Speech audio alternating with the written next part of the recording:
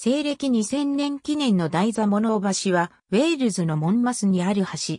中世の要塞化された河川橋としてはイギリスで唯一現存するものであり、今も当初の場所にゲートタワーごと残っている。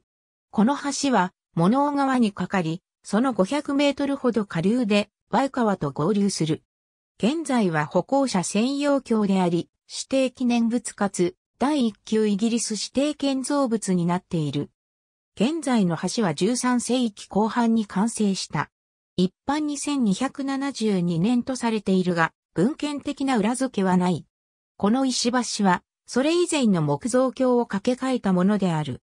1988年に行われた洪水対策の際、現在の橋の真下に木造橋の遺構が見つかり、年輪年代学的分析を行った結果、その木材は西暦1123年から1169年の間に切り出されたものだと分かった。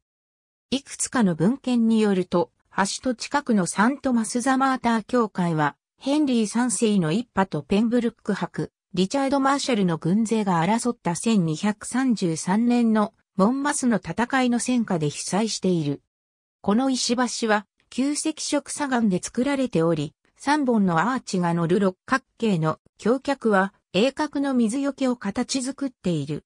モノーゲートと呼ばれる門廊は特徴的かつ注目に値する外観を物尾橋にもたらすものであり、13世紀末あるいは14世紀初め、橋そのものが作られた2から3年後に付け加えられた。1297年、エドワード一世は、老いのランカスター伯ヘンリーの求めに応じて、モンマスのために城壁税を定めた。これにより市民は防御のための私壁と門の造営に取り掛かることができた。1315年6月1日にこの税は更新、延長されているため、その時点でまだ工事は未完了もしくは補修が必要な状態であった。当時の橋は今よりずっと細く、通行者は皆吊るし門とアーチをくぐって通っていた。よく目立つアーチ型の出し狭間が中世のいずれかの時点に付け加えられた。地元の歴史家、キース・キサックによると、モンローは防御力という点で役に立つものではなかった。というのも、物宇川はすぐ上流で徒歩で渡河できてしまうからだ。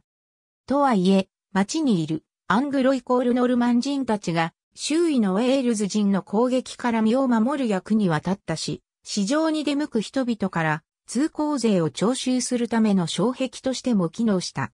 通行税は1297年と1315年の直居上文書及び後年の町の直居上で公に認められた。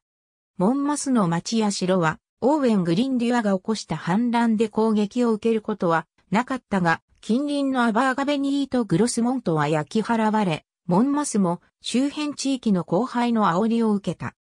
2世紀の後、イングランド内戦において、町の主は何度か変わり、1645年に物を、橋はラグランから来た、騎士党の軍勢とコロネルカールが率いる延長党との小競り合いの舞台になった。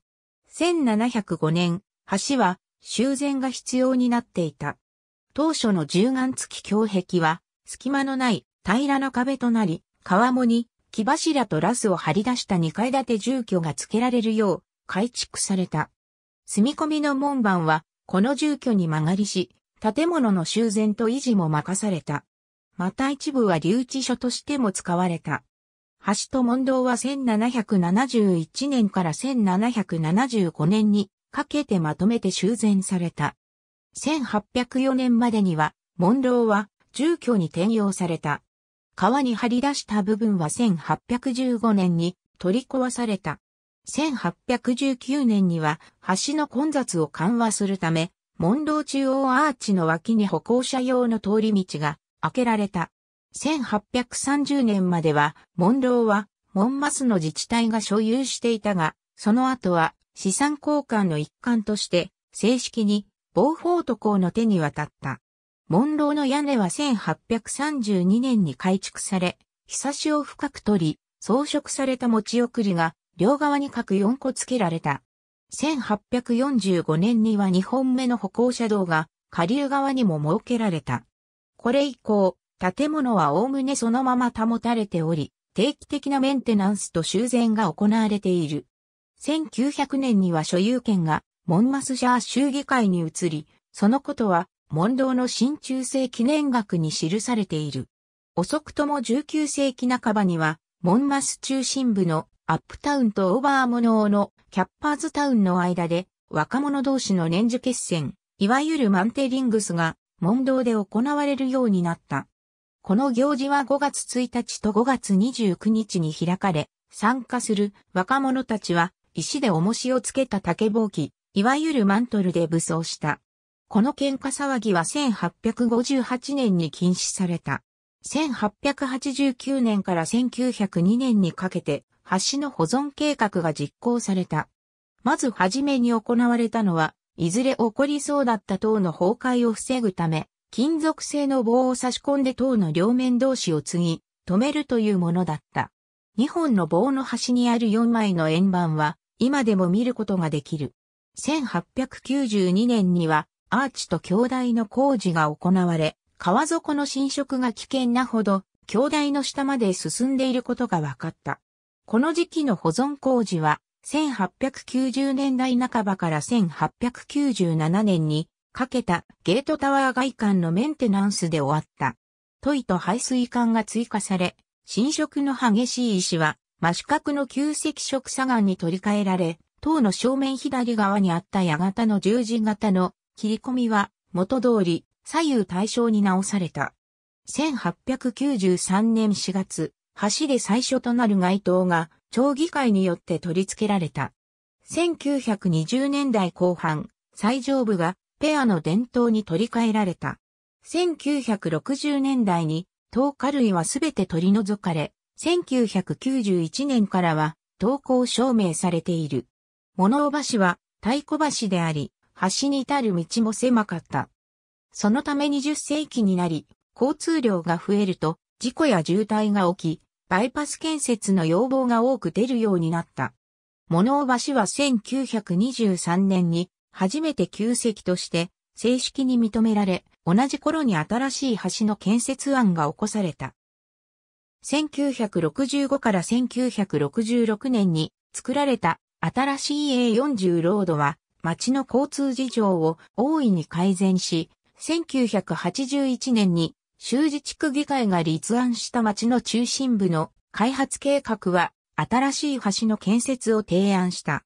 1982年5月18日、橋を渡ってモンマスに入ろうとした2階建てバスが大事故を起こし、大掛かりな修繕工事が行われる間、1ヶ月にわたり橋は閉鎖された。1999年にオブアラップラは物尾橋から離れた別の橋の実現可能性について検討したが、彼らの案は破棄された。しかし市街内の交通事情改善のため、物尾川に架かる橋が最終的には建設されて2004年3月15日に開通し、物尾橋は歩行者専用になった。この計画によって昔からの牛市場は取り壊された。2000年期を記念するため、焼き物のモザイクがモンマス町議会によって作られた。この円形の台座は2000年にわたる地元の歴史を描いた40枚のタイルからなっている。物尾橋の情景はモンマスの町のシンボルとみなされている。ありがとうございます。